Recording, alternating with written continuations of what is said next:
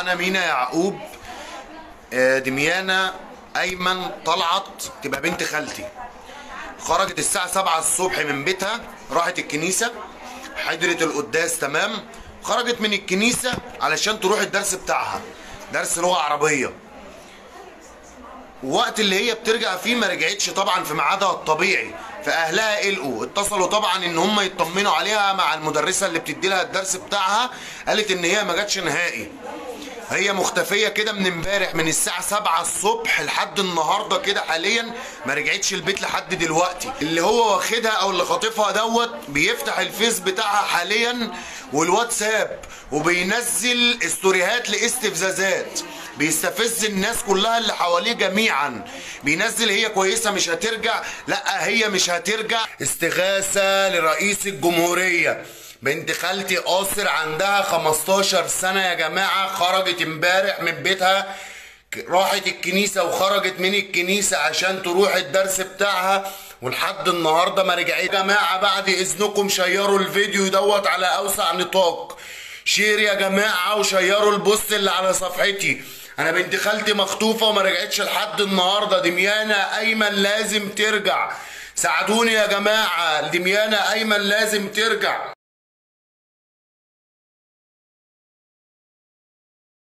نتكلم نقول خطف القبطيات استهداف القبطيات أسلمة الأرحام التغرير بالقبطيات الاختفاء القسري للبنات والسيدات القبطيات جهاد الأرحام الإتجار في البشر كلها عناوين لجريمة واحدة هي استهداف القبطيات وتزويجهن بغير إرادتهن الحرة من مسلمين وخذ موجات.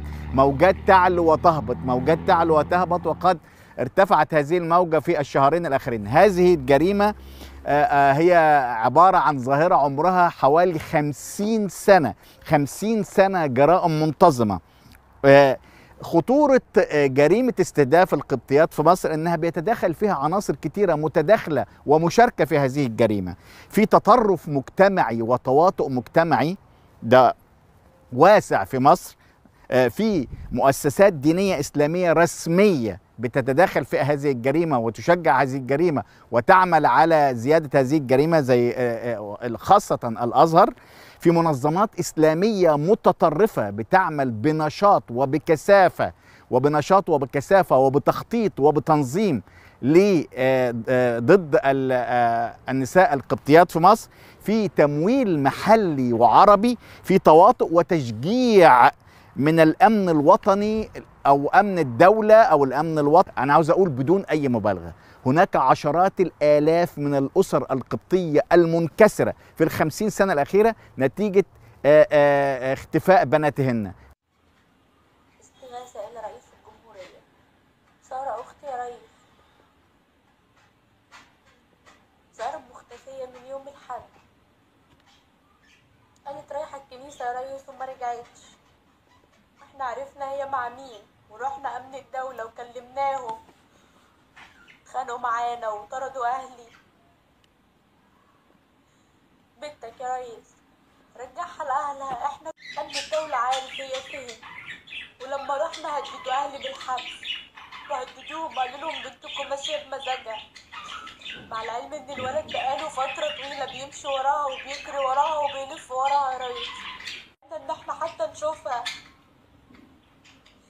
أهلي بيموتوا وبلد بحالها بتتدمر. عيلة بحالها يا ريس. دي استغاثة من أخت سارة أيوب توفيق. سارة أيوب توفيق سنها واحد وعشرين سنة. من هنا؟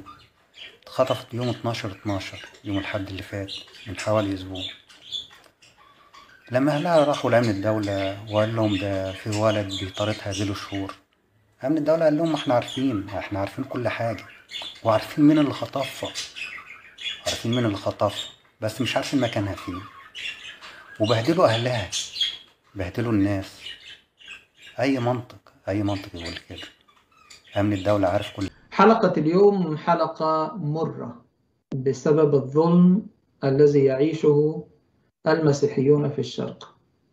فاليوم أتناول قضية مشهورة قديمة ومتجددة كل يوم وهي خطف البنات القبطيات وأسلمتهن تحت التهديد.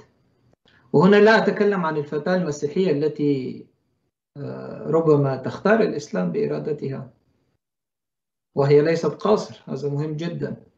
وإنما أقصد الفتيات القبطيات المخطوفات قاصرات كنا أو غير ذلك. هذه القضية قديمة وساندتها الدولة المصرية في عصور مختلفة.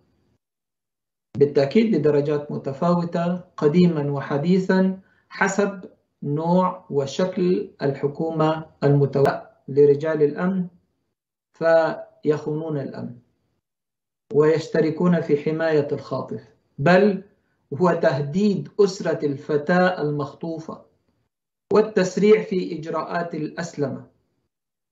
وعلى كل ضحية من الفتيات هناك مبلغ من المال يدفع لهم. زي ما أنتم شايفين كده السلفي مفتاح محمد فاضل مشهور بأبو يحيى. هو أشهر هؤلاء المتورطين في جرائم الخطف وتمويل هو معروف جدا لدى الأمن المصري. معروف نشاطه الإجرامي اللي بيقوم به أقصد هذا الخطف تحديدا. هذه الجماعات تعمل من خلال فتاوى خاصة تبيح خطف الفتيات القبطيات طالما الأمر في صالح الإسلام. أنتوا شفتوا داعش؟ ما هي زي زي هذه الجماعات الإسلامية. لها فتوى فتواها التي تصدر في أسر اليزيديات القبطيات. كله يدخل ضمن هذا المسمى الأسر. وطالما هي أسيرة خلاص تبقى هي إيه؟ ملك يمين. يحل لهم فعل ما يريدون في ملك اليمين. تخيلوا أن هذا يد يعني يحدث اليوم في الدولة. واحدة اتخطفت بنتي مريم وهيب يوسف عمرها 36 36 سنة معها بنتها جولي جوزيف عمرها سنة وشهرين مختفية يوم الثلاث الماضي. وانخطفت على يد ناس بلطجية من بني سويف. والأمن والمباحث عارفين مكانها ومكان الخاطفين ومش عايزين يدونا أي معلومات عنها. ومحضر رقمه 1879 إداري أرجوكم ساعدونا. أشوف بنتي وألاقيها انشروا الكلام في كل بنتكم ولا زوجتك ولا أختك. اطلع اتكلم. Vos femmes, ce sont vos filles, ce sont vos enfants qui seront kidnappés, empris, mis dans des, dans des, dans des quartiers, dans, des, dans les quartiers, les fameux quartiers réservés, comme il y en a à Casablanca, à Meknes et partout ailleurs, et vous n'oserez plus aller les rechercher. Parce qu'ils auront fait des médinas et puis des mosquées telles que même les gendarmes n'oseront plus mettre les pieds là-dedans. Alors, qu'est-ce que ça va être la France à ce moment-là? C'est déjà comme ça dans certaines villes d'Angleterre.